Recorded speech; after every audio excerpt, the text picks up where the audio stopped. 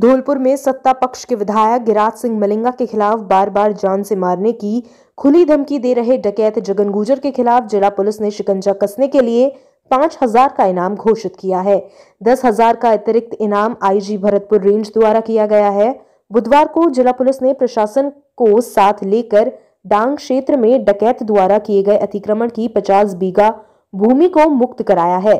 डकैत को गिरफ़्तार करने के लिए भरतपुर एवं करौली से भी स्पेशल पुलिस के जवान और निरीक्षक बुलाए गए हैं। आधा दर्जन पुलिस की टीमें डांग क्षेत्र और मध्य प्रदेश के साथ करौली ज़िले में लगातार दाबिश दे रही है।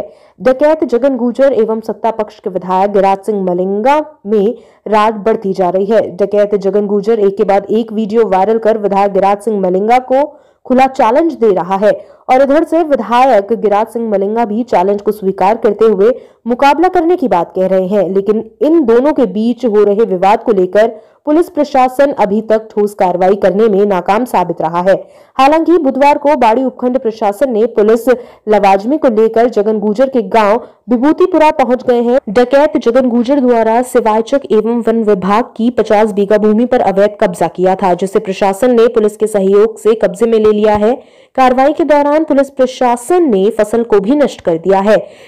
एसपी शिवराज मीणा ने बताया कि वीडियो वायरल होने के बाद डकैत फरार है। आईपीसी की विभिन्न धाराओं में मुकदमा दर्ज करने के साथ पाँच हज़ार का इनाम जिला पुलिस ने घोषित किया है।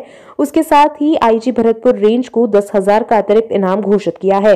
एसपी ने बताया कि आधा दर्जन पुलिस की टीमें डांग क्षेत्र एवं चंबल के बिहड़ों में लगातार दाबिश दे रही है। मध्य प्रदेश के मुरैना ज़िले एवं राजस्थान के करौली में भी बदमाश पर पैनी नज़र रखी जा रही है। डकैत को पकड़ने के लिए भरतपुर और करौली से भी स्पेशल पुलिस के जवान एवं उप निरीक्षक बुलाए गए हैं। तकनीकी यंत्र एवं मुखबिर के माध्यम से डकैत को पकड़ने के प्रयास किए जा रहे हैं। जगन गुजर का आपराधिक रिकॉर्ड रहा है।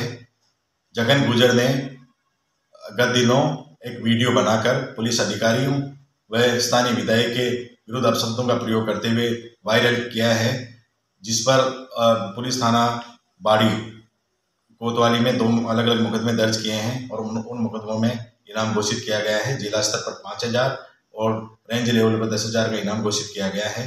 इसकी तलाश हेतु विभिन्न टीमें बनाई गई है जो राजस्थान स्टेट व आसपास के राज्यों में उसकी तलाश कर रही है और विशेष जो टीमें बनाई गई है वो पूरी मुस्तैदी से काम कर रही है और जल्दी ही जगन गुजर को गिरफ़्तार कर लेंगे।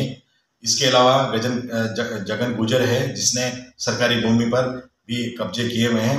आज पचास बीघा भूमि जो वन क्षेत्र में थी उसको प्रशासन के सहयोग से खाली कराया गया है और इसको सहयोग करने वाले और वीडियो वायरल कर, करने वालों को चिन्हित कर कानूनी कार्रवाई करेंगे। हमसे हमेशा जुड़े रहने के लिए हमें सब्सक्राइब करें और बेल आइकन दबाएँ।